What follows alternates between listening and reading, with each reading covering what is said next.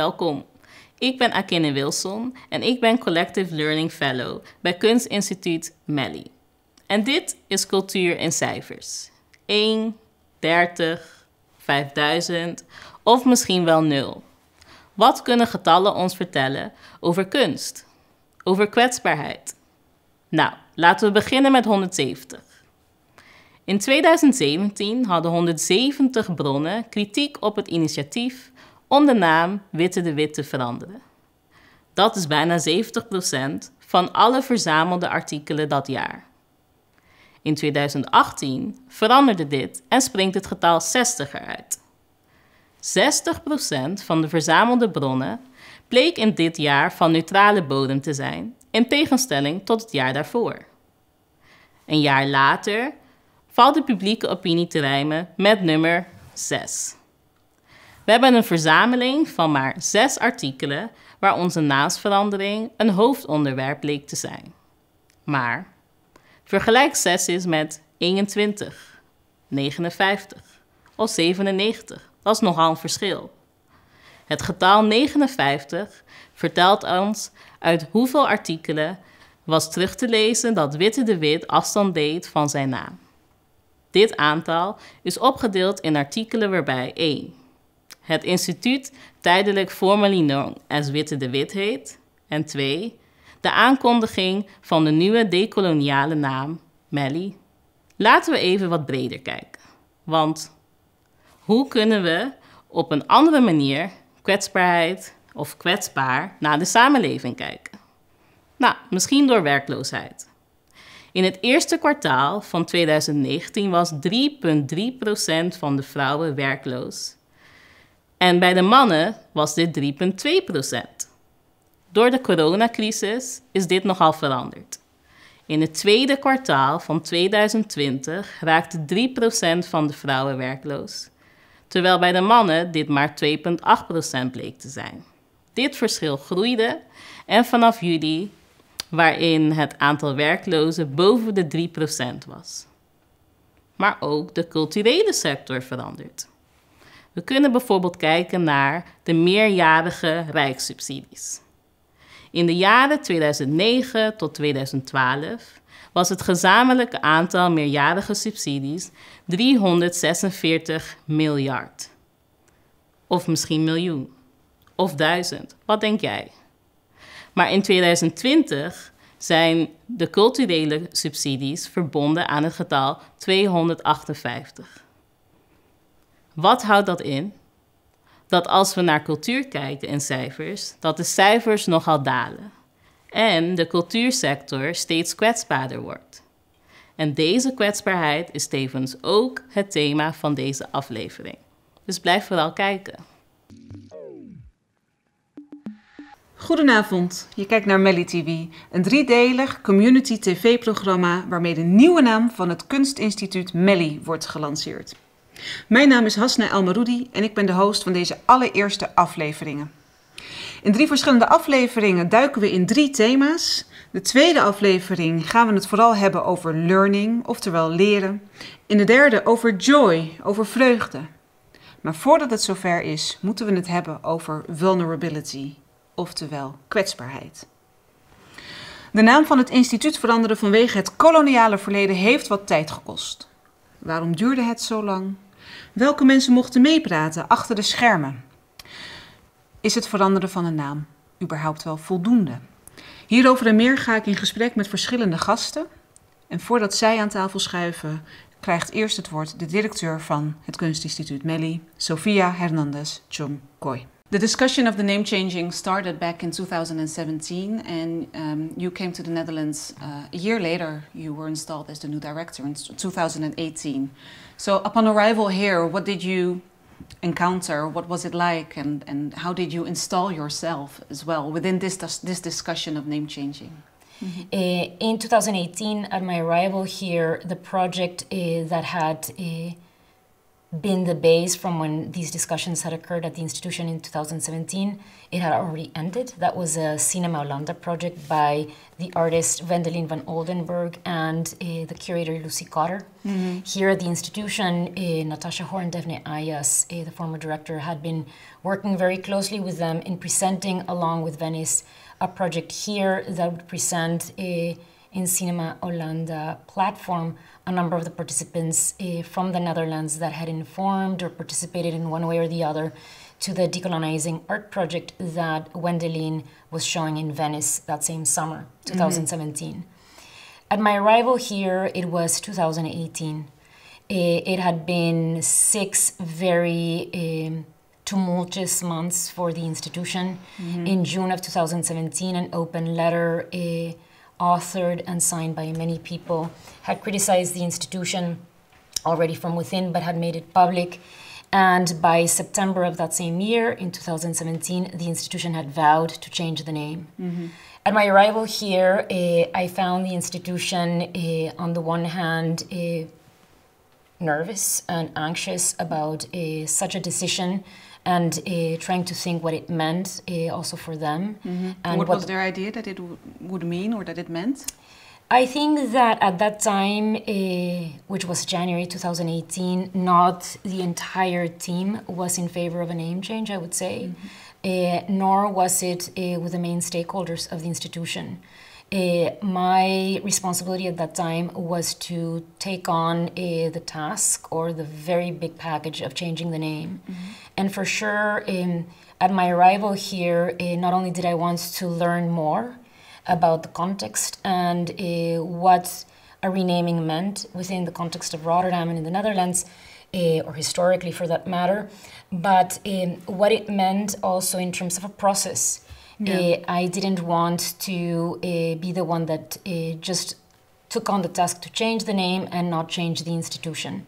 So for me, it was very important to learn about the context and to think about how a name change for the institution could include a, a transformation in general mm-hmm. from within and not only symbolically. And what kind of changes within the institution um, were you aiming at?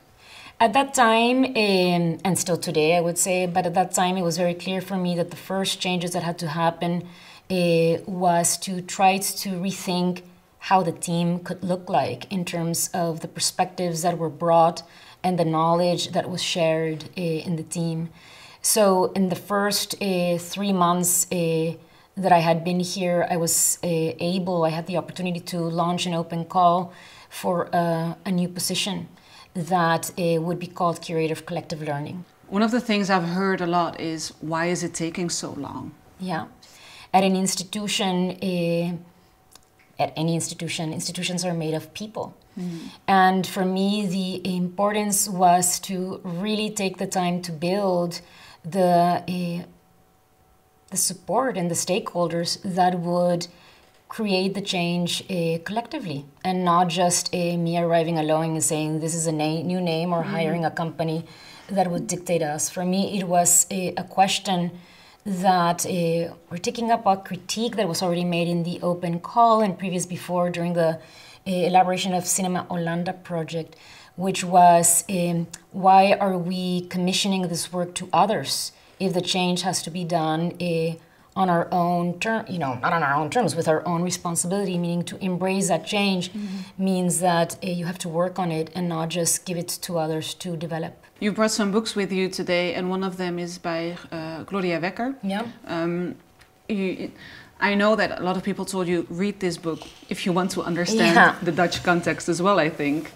What have you learned from from reading her book and um, also this whole name changing process and all? I've learned many things from having read the book. Um, when I was here in the interview process in 2017, um, it was the book that colleagues living in the Netherlands recommended me to read. It was a period of time in 2017 when, at everyone was reading this book. And Gloria Wekker is actually one of the people that also signed the open letter under discussion in 2017 and that also participated in the discussions and publications of Cinema Hollanda. Mm-hmm. And uh, she's a very respectable figure and she brought the attention uh, to not only our institution or people that are close to it or that are part of the decolonizing movement in the Netherlands that's gaining much uh, strength, I would say, for all good reasons. Um, but she has been influential in many circuits for creating a kind of a reversed anthropology, I would say.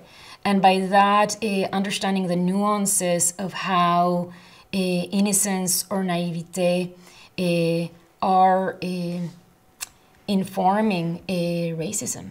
Um, would you say also the institution maybe is less highbrow? Because that's something that people might think of uh, contemporary art institutions that it's, mm -hmm. it's, it serves a certain public, um, higher educated, more often white. Has that also changed? It's not whether there's a highbrow or a lowbrow. I mean, and those are cultural terms that mm. actually do create a archetypes, stereotypes, and judgments.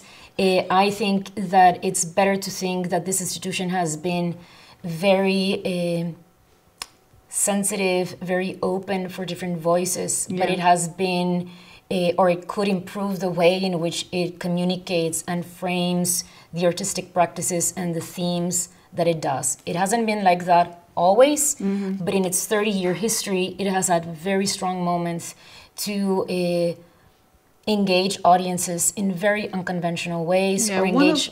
One of, one of which, um, sorry to, for interrupting yeah. you, one of um, the ways in which you've engaged the audience maybe in a kind of um, unexpected way mm -hmm. was last summer when um, when your building was uh, painted red by activists. Mm -hmm. City cleaners came by, they started cleaning up the mess, and mm -hmm. you mm-hmm. told them, you intervened and said, no, leave it on, let it be.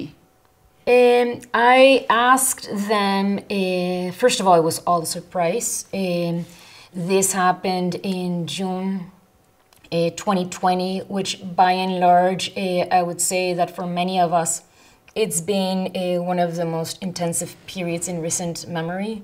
Um, the, the kind of strength that uh, that the Black Lives Matter movement has had uh, locally and internationally created a global solidarity at a moment when we were also being solidaire to um, yeah the educational infrastructure because of the COVID pandemic.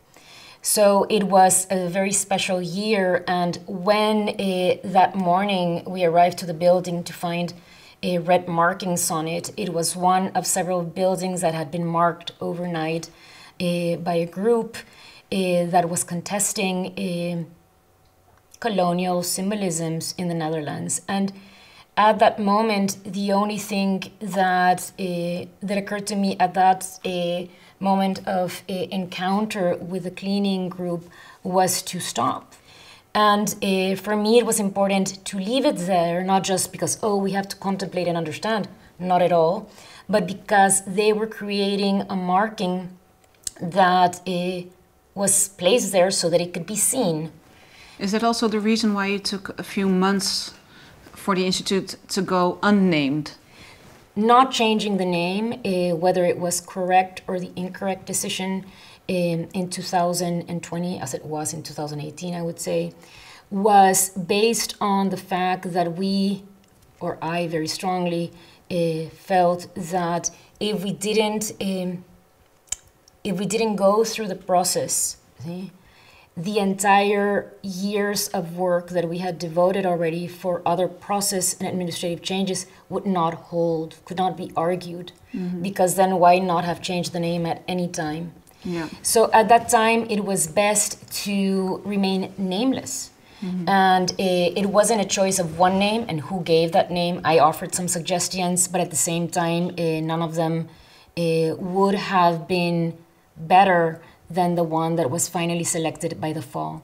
And that was selected through a, a lot of discussion yeah. and through a involvement of people that have uh, become a part of this institution, whether mm. as an audience member uh, or an artist that has shown here or as a stakeholder. Yeah, in the next segment I will be talking with two of those participants. May I thank you a lot for now. Sofia Hernandez Jong Kui. Zo direct gaan we kijken naar hoe die nieuwe naam Melly werd gekozen, samen met twee mensen die deel uitmaakten van dat hele proces. Clara Balagé van de Willem de Koning Academie en Kai Wong Loy Singh van The Brand New Guys.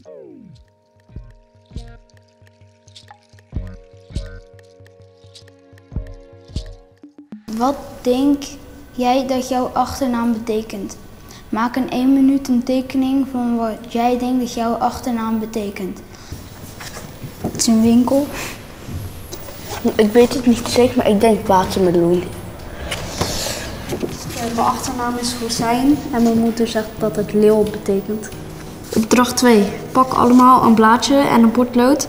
Loop vervolgens naar de wand met de schilderijen met vogels gemaakt door de kunstenaar Christian Fink. Schrijf zonder dat de rest van de groep het ziet drie woorden op waar je aan moet denken als je naar de vogelschilderijen kijkt. Ik vind het zo mooi en goed, ja, goed gemaakt, want niet iedereen kan zoiets maken. 60 vogels? 120 schilderijen in totaal. Natuur, kunst en de wereld. Kleuren, con- contrasten, verschillende posities en lange bekken. Ik heb Pim en vogels, twee en hoofd. Opdracht 3. Kies een van de woorden uit op, op je kaartje wat jou het meest aanspreekt. Onder de blauwe doeken zit, je materiaal. Het woord wat je gekozen hebt is de titel van het kunstwerk wat, wat je nu gaat maken. Zet hem op. Ik heb een eh, snavel gemaakt, want hier stond lange bekken. Dus daarvan heb ik een snavel gemaakt. Ik heb een boom gemaakt, maar dat lukte niet met klei. En het hoorde bij natuur. Ik heb een vogel gemaakt, want er stond hoofd en ja, daar dacht ik aan een vogel. Dus dat ik een hoofdkop, ge- nou nee, een vogelskop gemaakt. Ja, ik, het is een groot lange boom, lijkt het dan, maar ik zie het een beetje een als een bruggenboom. Want het is krom en het is een beetje naar beneden. Ik vind het een beetje op een bruggenboom ja, lijken of zoiets. Ik weet echt niet wat voor naam of zo. De wegsnavel. Omdat het een beetje op een eh, weg voor auto's lijkt. En het is een snavel. Eh, ik vond dit op een wolk lijken. Dat is het eigenlijk. Ik noem het een zalmsnavel. En waarom ik het een zalmsnavel noem, omdat het een beetje op ja, zalm lijkt, maar het is tegelijkertijd ook een, een snavel, dus daarom zalm, zalm, zalmsnavel. Ja, Ja. Omdat de straten die oudere mensen de naam hebben bedacht, die zijn heel saai en, en lang. Ik zou het zelf niet willen, maar als andere kinderen het doen, eh, dan, wordt de, dan worden de namen wel wat vrolijker. Maar ik zou zelf ook niet echt een straatnaam willen verzinnen, want misschien zijn alle straatnamen wel saai, maar dan zou ik het liever aan iemand anders overlaten dan aan mij, want ik zou echt gekke naam verzinnen. Ik ben Melly. Ik ben Melly. Ik ben Melly. Ik ben Melly. Ik ben Melly. Ik ben Melly. Welkom terug bij Melly TV, een driedelig tv-programma, een community tv-programma moet ik zeggen, waarmee we de nieuwe naam van het Kunstinstituut Melly lanceren. In het eerste deel van dit programma had ik al te gast de directeur van het Kunstinstituut, dat is Sofia Hernandez Chonkoui. En nu inmiddels heb ik twee nieuwe, zeer gewaardeerde gasten bij mij aan tafel. Beide Rotterdammers. En beide speelden jullie een sleutelrol in het naamsveranderingsproces dat vorig jaar plaatsvond, waarbij meer dan 200 deelnemers betrokken waren. Clara Balaguer is een culturele werker en activiste uit de Filipijnen, momenteel coördinator Social Practice aan de Willem de Koning Academie in Rotterdam. En Kai Wong Loy Singh, jij bent medeoprichter van het Rotterdamse creative bureau The Brand New Guys. Welcome to the both of you. So before we dive into this whole conversation about the changing, the, the name changing process, maybe you guys can introduce yourself first a little bit. So who are you and how did you participate in that name changing? Um, well, you uh, introduced me already as like um, a teacher. Uh, so I moved here to Rotterdam uh, for this job as an educator. I'm also like um, um, an artistic researcher, I guess. I don't really know what to call myself because uh, the practice that I do it almost always involves like community work. Uh, that's at least what I was doing in the Philippines and trying to liaise with communities and figuring out how to do cultural programming for communities that are usually left outside mm-hmm. um, of supposedly high cultural programming. Um, and how did I come to this process? Um, I'm not sure. Uh, I have the feeling that um, there were a lot of people from Rotterdam that should have been involved, um, but for one reason or another did not want to be present. Um, and I think what was interesting for me was to observe the process, the institutional process from the inside. And it felt like um, a request that could not be denied. Um, so if we speak about decolonization and uh, trying to get institutions to change, then you kind of have to show up uh, whether the job be distasteful or not. So I think I'm here because I felt that I could not refuse. Mm-hmm. So uh, about whatever you you saw and heard and uh, how you found that changing process to be, we'll talk about that a little bit later. But now, Kai, could you maybe introduce yourself and tell us how you got sucked into this name changing process. that's a really that's a really good way to put it. Um, so yeah, um, my name is Kai Bongoy Singh, uh, creative director of Brand New Guys, and we focus on storytelling, technology, and I think really relevant in this context, culture. Um, as a creative agency, uh, we try to position ourselves as an agency that's closer to the people. So also almost from a sort of anthropological perspective, we try to approach uh, client briefs. Uh, a client has a story to tell, uh, a message to convey, um, but we try to we try to understand how that message uh, resonates with the people they're trying to to, to reach. Mm-hmm.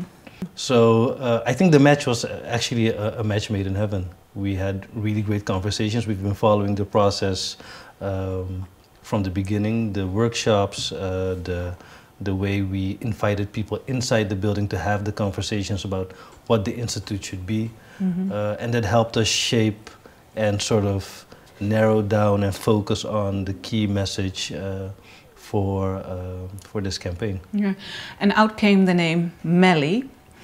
When I um, heard of it, I was like, I was really excited because I know the Billboard Melly, as many other Rotterdammers uh, know. But I also thought, yeah, that's such a logical question, uh, such a logical name. How did you feel about that, Clara? Um, I also felt like you, like it was a logical name. Um, and I mean, it was already on the building.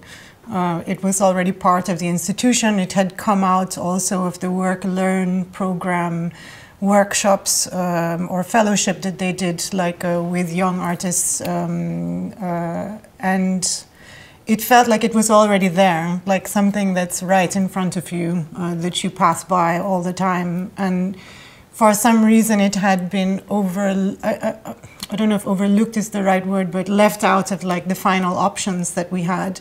Um, but it really did seem logical and natural, and it was already working as the name. And so when they brought it up in, in the wild card round, so it wasn't uh, something that we as the committee came up with, it was uh, a final wild card round, this mm-hmm. what's missing question, and then. Uh, I think the moderator said, well, there were these other names, and then the first one was Melly, and then when they said Melly, everybody was like, yes. Yeah. Um, it felt right. Yeah, and before entering the committee, for me, like I mean, yeah, friends found out that I was on the committee, and there was yeah, that was a big thing. Uh, Why was it a big thing? because um, yeah, a lot of people felt like, uh, like I said in the beginning, uh, I think a lot of people, or at least that I know, sort of didn't want to be part of the process. It was like, well, let the institution do what it needs to do. Um, but I feel like, yeah, if the institution had done that, then it would have been like, well, why didn't they talk to the local community or involve a larger constituency? So it's this uh, damned if you do, damned if you don't. Um, Well, one of the things I think a lot of people, or at least what I've heard, is a lot of people are afraid that this might just be some sort of window dressing instead of it being more about really decolonizing the institution. Yes, I mean, but somebody's got to dress the window, and somebody's got to show up um, and and show face in a way. Like I've tried to do also kind of different kinds of activist work, organizing from the shadows, and you know, not um, not being in front um, and not showing face or name, but it tends to or at least in my experience, I've seen that it actually tends to raise suspicion, and uh, generally people want to know, uh, like what's behind, who's behind it. Uh, they tend to need a name and a face, um, which is not my favorite thing to do. It's But- funny that you say that. I have the same thing because as, a, as an agency, we're really active in our community as well. But I really like, I feel like most of the, I like to do most of the work in the background. And, you Hmm. know, um, I don't have to be the face of whatever activation we're building. So, and I have this, there's a, there's a person within Rotterdam, I'm not going to name him or her. Um, but he's, he's the exact opposite. He's really sort of um, the face of whatever he's doing. And at first I was like, okay, mm, I don't know if that's the way to move. But like you, you, you, you're calling it window dressing, but I feel like it's a really good way to create momentum for whatever movement you're trying to start. So I'm not saying you're going to see me all over your screens this year or whatever, but I feel like it's a really great vehicle to sort of get people uh, on board for whatever train you're driving. Yeah, it's, Yeah. it's a reluctant frontline position Yeah. that you sometimes have to take. How do you guys feel about that? If Melly was there all along, Sometimes a, a voice inside of me is, is telling me, okay, so now's your chance. You can be hypercritical of this whole thing. Uh, but at the same time, I'm really aware of um, change taking time. You know, it's in retrospect, three years, three and a half years isn't really that long for an institute to sort of trying to read, trying to discover how it should be inclusive. Um, like we've been um, we've been working on our our registration system for almost six months now, and it's one process to change, and that has nothing to do with inclusivity, but to sort of um, put all your um, uh, processes under a looking glass and to sort of rebuild them from the ground up to be more inclusive takes time and effort. So in hindsight, three years uh, might seem like a long time from the outside, but from the inside and from an organizational point of view, uh, I think they did pretty good. So you say it's Not saying it that might they're just done. be it might just, it's not just the name it's Yeah, I think organizational change yeah, for sure. I think the name is so within that process of finding a name. From day one, they didn't sort of make a big list of names. It was okay. So, how, what exactly should we change, and how should that be reflected in a name? Um, so, um, yeah, I don't. Yeah. I don't think three years is that long at all. okay and let's shift to you Clara Um, I mean, before, like observing the process from the outside, I was on the camp of saying, well, three years is a really long time. Um, and I think, oh, because the process seemed opaque uh, to me, or from the outside, you don't always see kind of the writhing that's going on underneath the surface. And then, yeah, having the opportunity to observe and, and that was one of the main interests for me was to observe this institutional process from the inside because i've always been outside of institutions i find them quite exotic um, so to see um, all the work that had gone into like it was a research project and yeah i've been here for two and a half years. I'm starting to understand the concept of pold- poldering um, and how you sort of need to hear from all the voices. It was like this exhaustive process. Perhaps in my opinion, yes, a bit too long, but I understand, uh, having seen now all the work, I understand why it took that long, and I understand that they didn't want it to be a knee-jerk reaction, uh, which I think would have been just as, um, just as criticizable. But yeah, I don't know, the, Yeah. to, to be able to hear from all of the constituencies and do these workshops. And yeah, there, the, and there was a long process before that uh, and a change of the directorship of the institution in between. So it's kind of like this perfect storm of, um, yeah, timing that didn't quite sit well with um, people from the outside. Um, you also work within an institutional context and with a strong philosophy of social transformation. What do you think um, is the most important factor for institutional change at the moment? Or maybe even what have you learned from watching first from the outside and now from the inside? How this institution is changing? I think patience um, and a willingness to engage in emotional labor. like, uh, like my position from my administrative position in another institution, I always say is like 75% emotional labor. um, and the willingness to sit down and to listen and to take criticism that perhaps doesn't even belong to you. You're just there, you are the focal points and the funnel uh, for uh, unrest. I don't know. Uh, it's patience and, and fortitude to deal with all the mm, negotiatory, the negotiation work that goes through institutional change. I mean, it's like a huge boat. In order to change it, it's a very wide turn that you Yeah. need to make. Um, so yeah, patience. Patience. Zometeen schuiven naast mij aan Peggy Wijntuin en Charles Landvreugd. Beide Rotterdammers en beide met een hele grote staat van dienst als het gaat over andere perspectieven. Maar voordat het zover is, gaan we kijken naar We Are Melly. Kunstinstituut Melly is vernoemd naar een kunstwerk uit 1990 gemaakt door Ken Lum, genaamd Melly Shum Hates Her Job. En Melly Shum is geen fictief persoon. In onze derde en laatste aflevering gaan we Melly Shum zelf ontmoeten en beter leren kennen in een interview. Vandaag gaan Stijn Kemper en Jahaira Brito Morve met Melly de straat op. Stijn en Jahaira maken onderdeel uit van het Work-Learn Program van het Kunstinstituut Melly. Ook waren ze samen onderdeel van het naamveranderingsproces.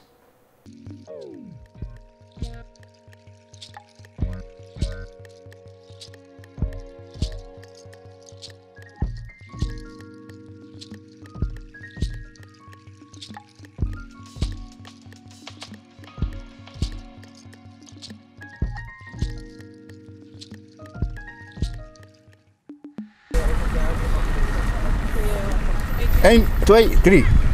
Zijn we begonnen? Nou, ik werkte dus. ehm, Op een kantoor? het was verschrikkelijk. Want ik voelde me als een machine. Ik ben Melly. Ik ben Melly. Ik ben Melly. Ik ben Melly. Dus ik had helemaal niks te doen, dag in dag uit. En toen ben ik weggegaan en ik ben nooit meer teruggekomen. Ik ben Melly. Wij zijn Melly. Ik ben Melly. Ik ben Melly. Ik ben Melly.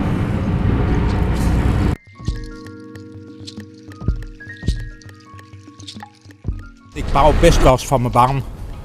Wat ik minder leuk vind, is dat ik altijd tegen de klok moet racen. En daar heb ik echt geen zin in. Ik ben Melly. Ik ben Melly. Ik ben Melly. Ik ben Melly. Ik ben Melly.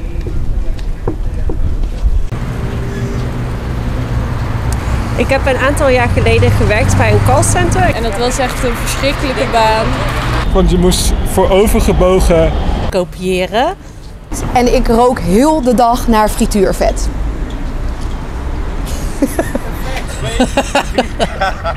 Ik ben Melly. Eh, ik ben Melly. Ik ben Melly. Ik ben Melly. Ik ben Melly.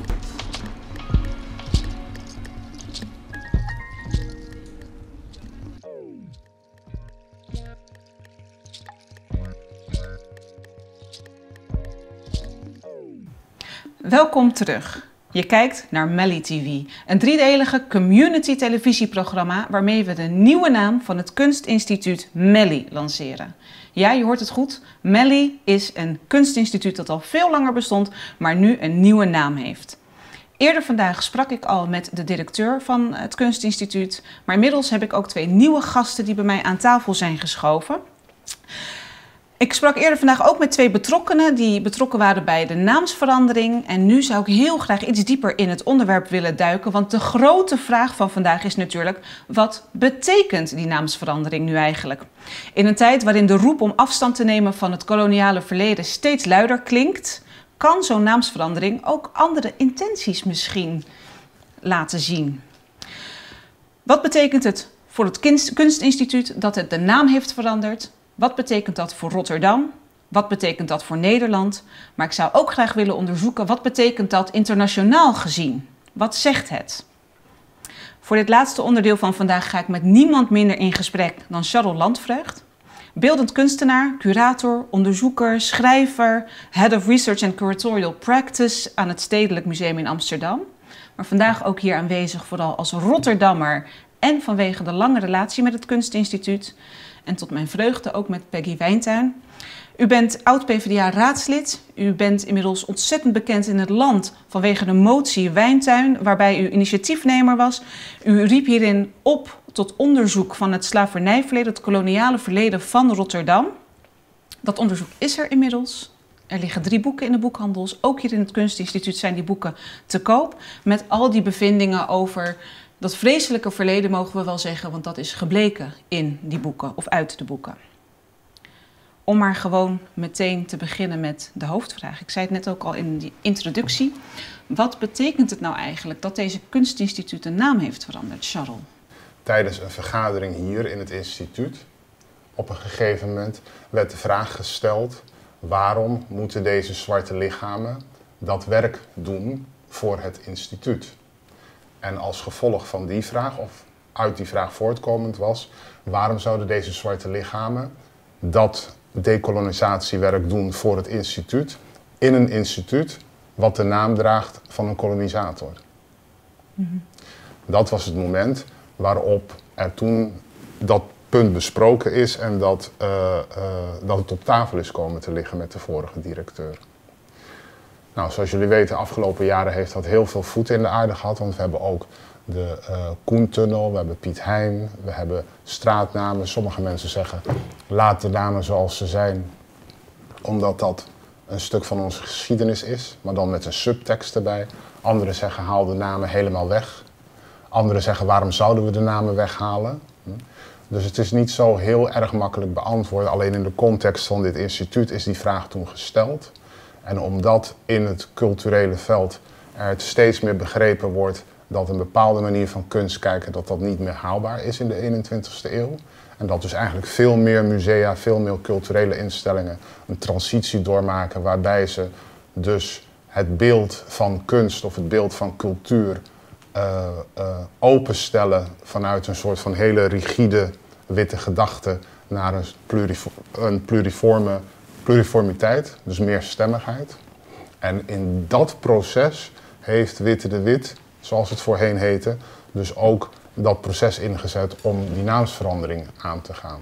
Uh, wat het mij zegt, um, als inwoner van deze stad, is dat deze stad heel erg in beweging is. En uh, niet meer de stad is van de jaren 50, toen er slechts één perspectief één verhaal, één dominant verhaal werd verteld.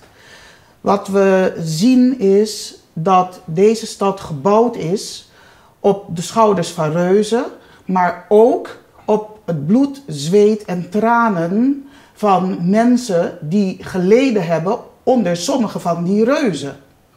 En dat zijn uh, mijn voorouders. Mijn zwarte voorouders. Rotterdam is een stad, als je kijkt naar de haven, dan zijn wij een van de wereldhavens.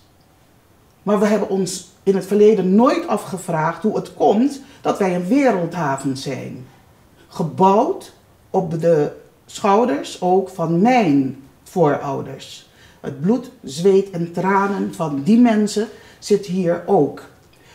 Um, terug naar vandaag een van de acht Rotterdammers is nazaat van een Afrikaans slaafgemaakte. Eén van de acht Rotterdammers. Wauw, dat is een hoop. En als je dat dan hoort, dan kan het niet anders dan dat je als ingezetene van deze stad inderdaad ook kijkt naar de verhalen die die mensen met zich meedragen. Ik ben hier omdat Nederland daar was. En mijn verhaal moet hier dus ook worden verteld. En dan betekent het dat als ik met mijn verhaal kom, met mijn historie kom, met mijn bloed, zweet en tranen, mijn pijn kom, en het dus heb over een, sommigen hebben het over een hoge marineofficier, Witte de Wit. Je kunt ook zeggen zeerover. Met alle gewelddadigheden die bij dat verhaal horen. En als je dat verhaal dus gaat vertellen, dan kan het niet anders dan dat je inderdaad komt tot een ehm, verandering, laat me het heel vriendelijk houden, een verandering van deze samenleving. Nu vertelde jij net ook al aan het begin dat het gesprek eigenlijk al een hele poos gaande is. Ik geloof dat het in 2017 is besloten van hè, we gaan van dit instituut de naam veranderen. Inmiddels zijn we wat verder. Uh, u loopt ook al heel erg lang mee rond en ik heb stukken van u gelezen uit 1989 waarin u, al, waarin u het al heeft over diversiteit en inclusie. En dat gaat dan specifiek over de politie. Maar desondanks heeft dat wel, uh, ligt dat wel dichtbij waar we het vandaag over hebben. Heeft u het idee dat er op dit moment vooruitgang wordt geboekt? Kijk naar uh, uh, de Black Lives, Matters, uh, Black Lives Matter beweging hier in Rotterdam als voorbeeld, waar ik ook op de brug heb gestaan, op de Erasmusbrug heb gestaan, tussen die duizenden jonge mensen. Ik heb daar samen met een van mijn dochters gestaan. En als ik dan. Hoe oud is zij? Sorry, dat mijn, mijn dochter is, die dochter is 31. Mm. En als ik dan zoveel zwarte jonge mensen zie en tegelijkertijd zoveel witte jonge mensen, zoveel witte jonge mensen, wit, dat was in mijn tijd ondenkbaar. Mm -hmm. Want dan was ik degene die, zoals een hoofdredacteur ooit tegen mij zei, ik ben ooit in de journalistiek hier begonnen. En toen ik racisme aankaarten binnen het bedrijf, werd mij de vraag gesteld: ben jij niet te touchy? Het lag, lag aan mij. Mm -hmm. En als ik vandaag zie die bundeling van krachten van zwart en wit, ja, dan kan ik niet anders zeggen dan dat er stappen worden gemaakt. Als ik vandaag, naar aanleiding van het onderzoek dat ik geïnitieerd heb naar het slavernij en koloniale verleden van Rotterdam, zie dat het huidige gemeentebestuur burgemeester en wethouders hier nu zeggen dat zij overwegen excuses te maken voor dat verleden. Mm -hmm. En als ik dan ook zie de maatregelen die zij in een brief hebben opgesteld naar aanleiding van dat onderzoek, dan kan ik niet anders zeggen dan ja, volmondig ja zeggen, mm -hmm. dan dat er beweging is. We zijn er nog lang niet, mm -hmm. maar er is beweging vergeleken met waar ik vandaan kom. Ja. U geeft een goed voorbeeld uit uw eigen verleden waarin u beticht werd van uh, overgevoeligheid. Um, het thema van vandaag is, is uh, vulnerability, kwetsbaarheid. En dat ligt daar denk ik ergens ook wel heel erg nauw bij. Het is ermee verweven omdat er het, om ook kritiek te kunnen accepteren of om in ieder geval te kunnen luisteren naar kritiek, moet je je ook kwetsbaar opstellen, heb ik zo het idee. Heb jij het idee dat kunstinstituten, of het nu Melly is of andere, op andere plekken, uh, bereid zijn steeds meer om zich ook kwetsbaar op te stellen, om te luisteren? Um, dat is een lastige, omdat je niet weet of het uh, kwetsbaarheid is of overlevingsdrang.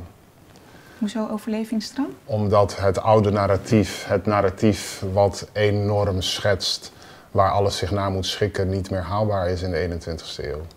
Ik denk dat de, de, de drang om te overleven kwetsbaarheid afdwingt, mm -hmm. zeg maar. En dat je van daaruit dan uh, uh, acties kunt ondernemen.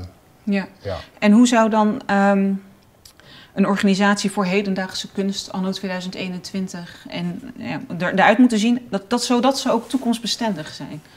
Hoe dat te doen, dat is natuurlijk het grote vraagstuk uh, van, uh, van dit moment. Het is zaak, denk ik, voor kunstinstituten om uh, te begrijpen dat er iets moet veranderen. Dat sowieso. Wat je nu ziet is dat we eigenlijk sinds de jaren 70, jaren 80 in de derde diversiteitsgolf zitten. Ja, Wanneer dus, waren de eerste twee? Ja, die eerste was uh, begin jaren 80 ongeveer, als ik me niet vergis. En dan had je nog een uh, eind jaren 90 diversiteitsgolf die gekild werd door beleid.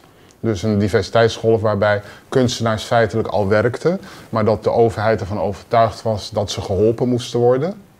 En daarmee dus eigenlijk hun voortgang gekild heeft met goede bedoelingen. Ja?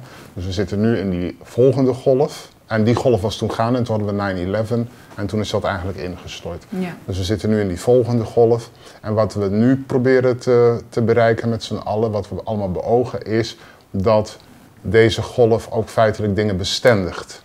Dat het niet een trend is die over drie, vier jaar voorbij is, maar dat er werkelijk iets gebeurt. En dat dus de instellingen inzien dat de wereld veranderd is.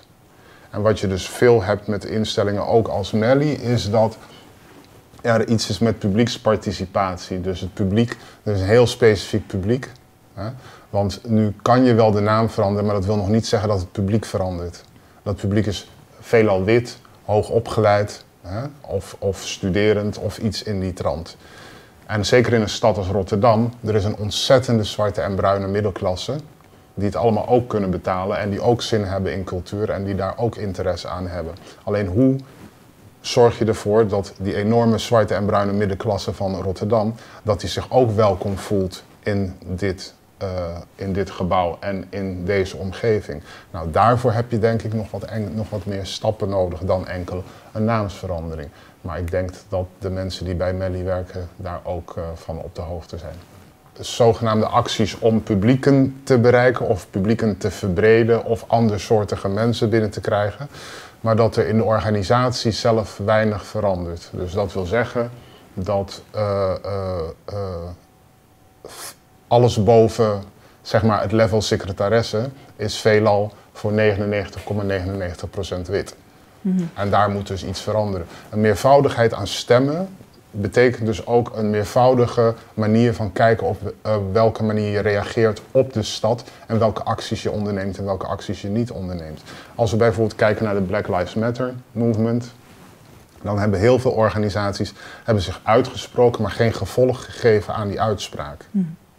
Dus het is window dressing. Op het moment dat je zwarte en bruine mensen hebt of meerdere witte mensen hebt in de organisatie die meedenken over dit soort sociale veranderingen, dan kan zo'n zeg maar, steunbetuiging ook directe consequenties hebben wat betreft uh, programmering, wat betreft inhoud, wat betreft uh, de toon die uh, het instituut dan aanslaat op het moment dat ze de publieken proberen te bereiken. Nou, dat zijn, nou ja, dat. Ja, dat is eigenlijk al de basis.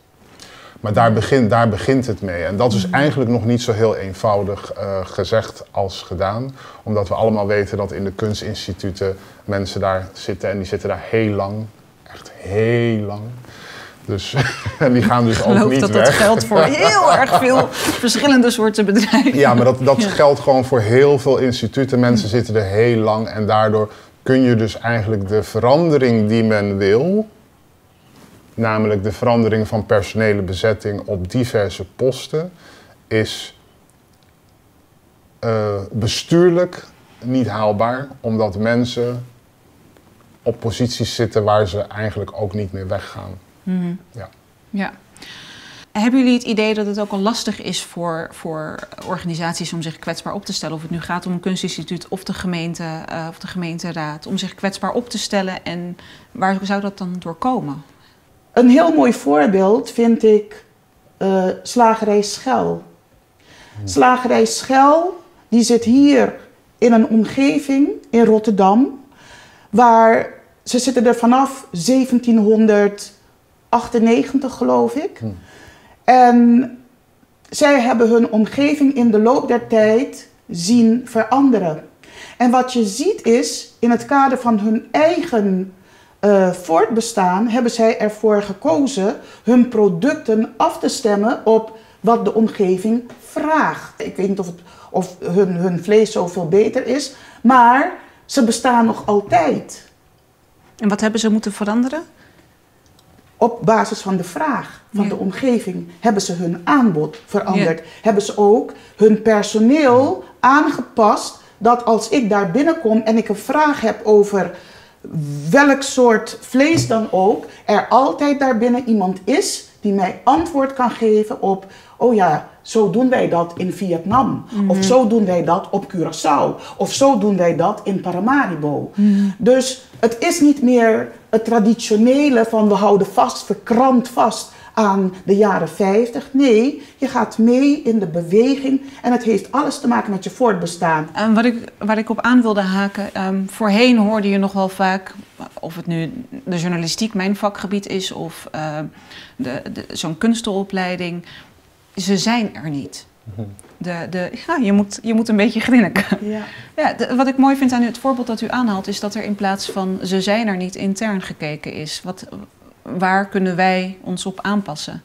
Ehm, Je mag me ook vertellen waarom je moest grinniken. Nou, waarom ik moest grinniken is, ik geloof in 2000, wat was het, 2008 of zo, 2007, 2008 had je eh, de intendant culturele diversiteit met Van Abbe Museum en Wakkerman toen. En toen stond er in de krant dus eh, een artikel, ze zijn er niet. En datzelfde soort artikel stond vorig jaar ook weer in het NRC. Ze zijn er niet. Maar in ieder geval, ik was voornemens om ehm, mijn masters beeldende kunst te gaan doen in Beijing. Want ik wilde gewoon in een andere culturele omgeving eh, leren eh, eh, visueel werk te maken. En om deze uitspraak, ze zijn er niet, ben ik dus mijn masters in theorie gaan doen in New York. En dat heeft gewoon echt eh, mijn pad veranderd, eh, mijn levenspad, die uitspraak, ze zijn er niet. Dat ik zoiets had van, dat is onzin, want ze zijn er wel. Maar wat er gebeurt, en dit is wat ik ermee wil illustreren, ze zijn er niet, betekent ze hebben niet hetzelfde pad afgelegd als ik. En op het moment dat ze niet hetzelfde pad hebben afgelegd als ik, dan zijn ze er dus niet. Dus waar je nou zult, wat je zult moeten doen met het eh, hiring policy, wat is dat in het Nederlands? Aanneembeleid, is dat je andere, eh, op een andere manier moet gaan kijken naar, eh, eh, Ja, naar je sollicitatieprocedure. naar je sollicitaties. Want iemand kan een curatorenopleiding hebben gedaan in, weet ik het wat, had je me maar, kom er eens om. Hè? En dat heb jij dan ook gedaan, dus dat klopt. Maar het kan dus ook dat iemand juist in de wijken of in een hele andere omgeving op een andere manier tentoonstellingen heeft gemaakt die jij niet kent. Nou, en dat perspectief zul je dus echt mee moeten nemen op het moment dat je kijkt naar eh, eh, applications. Zo van, lijkt deze persoon op mij? Heeft hij gedaan wat ik deed? Mhm. Of kunnen we kijken naar skills die ontwikkeld zijn, die eigenlijk vergelijkbare kwaliteit hebben en eh, op die manier binnengebracht kunnen worden? Ja. Dus dat. Helder. Dank jullie wel. Ik zou echt nog veel en veel langer met jullie door willen praten. Want we zijn er nog lang niet ook in het gesprek hierover. En ik kom jullie allebei ongetwijfeld nog een keer tegen ehm, om dit gesprek voort te kunnen zetten. Dus mag ik jullie allebei hartelijk danken. Charlotte Landvreugd, Becky Wijntuin. Dankjewel. Jij Dank jullie wel. Kijk ook volgende week naar de tweede aflevering van Melly TV, waarin we dieper zullen induiken op het thema learning, oftewel leren. In die aflevering zullen we ook gaan kijken naar het verband tussen de naamsverandering en onderwijs, maar ook het antiracismebeweging in relatie tot het onderwijs in Nederland. En het grotere perspectief. Hoe leren we van en benaderen we de vergeten en soms ook de verzwegen geschiedenis? Onze gasten zullen zijn professor Rolando Vasquez. Hij was onderdeel van het naamsveranderingsproces. Lakeisha Tol, co-founder van de Zetje In campagne. Nene Wilson, de Collective Learning Fellow van het Kunstinstituut. En Melly Sum. Je kunt de afleveringen bekijken aanstaande woensdag om 8 uur op Open Rotterdam of op zondag van 6 tot 5 op Open Rotterdam. Of wanneer het je uitkomt op kunstinstituutmelly.nl. Melly TV is geproduceerd door het Kunstinstituut Melly in samenwerking met Open Rotterdam, met Lilith Mag en met The Brand New Guys. We sluiten deze aflevering af met een kunstwerk van Mariana Maruyama, speciaal gecreëerd voor Melly TV. Maruyama is een kunstenaar die werkt in Den Haag en kunst maakt waarin het gaat over de relatie tussen lichaam en stem.